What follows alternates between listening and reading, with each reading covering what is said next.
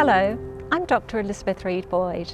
I'm a social scientist in the School of Arts and Humanities at Edith Cowan University. Right now, in the midst of the COVID-19 crisis, we're all looking for answers.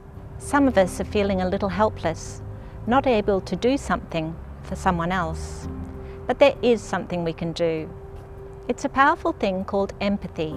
Being empathetic involves hearing, listening and understanding another person. Empathy is more than feeling for someone, it's about feeling with someone. Did you know that creativity is a powerful form of empathy? Creativity is integral to interpersonal skills. It encourages us to be kinder and more loving to ourselves and each other. It allows us to dream and inspire, to imagine and generate possible human futures. Experiencing and enhancing our creativity is one of the ways we can better understand ourselves and each other. Here then are some of the ways you can foster empathy through art without leaving home. You could read or reread a book, get lost in a movie, read or write some poetry, draw or paint, the arts are alchemical, transformative processes.